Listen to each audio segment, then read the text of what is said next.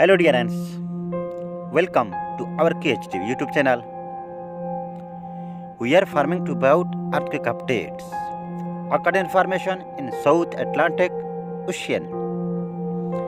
According to the German Search Geosciences Geological Survey Science reported, the epicenter was recorded shallow the strong magnitude 5.1 earthquake, South Atlantic Ocean on Wednesday. 23 March 2022 occurred at 12 hours 54 minutes am local time.